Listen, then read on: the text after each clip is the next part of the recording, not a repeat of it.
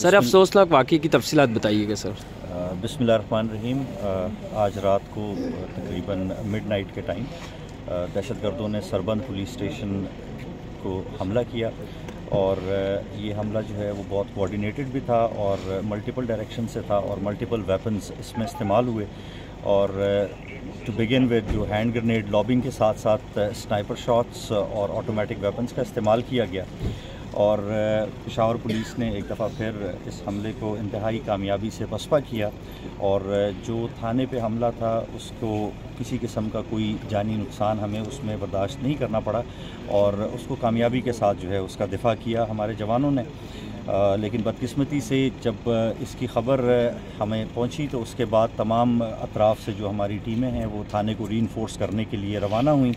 और जिसमें हमारे डीएसपी बड़ा बेर सरदार हुसैन साहब ने इंतहाई बहादुरी का मुजाहरा करते हुए और जो मुलजमान जिन्होंने ये अटैक किया था, उनका ताकुब किया और उनको घेरा डालने की कोशिश की और जिस घेरे के दौरान, मुकाबले के दौरान जो है वो उनके पास गालिबा स्नाइपर शॉट से इनको हमारे जो डीएसपी साहब, सरदार हुसैन और उनके साथ दो हमारे पेशावर पुलिस के जवान इरशाद और जहाँ जेब जो है वो जाम शहादत उन्होंने नोश किया है। और मैं इससे पहले भी कई दफ़ा इस बात का इजहार कर चुका हूँ कि पेशावर पुलिस बिलखसूस और बिलमूम के पी के पुलिस की जो दास्तान है बहादरी की और जानों का नजराना पेश करने की वो नई नहीं है। और हमारे तमाम जवान और अफसरान आज भी पुरज़म हैं। कि इस वतन की खातिर इस शहर और इस मुल्क के अमन की खातिर जितनी भी जानों का नजराना हमें देना पड़ा हम इसके दिफा में किसी किस्म की जो है वो कुर्बानी से ज़रूर नहीं करेंगे। सर दहशतगर्द बर रास्त मुकाबले पर थे। अब इलाके की क्या सूरत हाल है? वहाँ पर ऑपरेशन मुकम्मल है? जी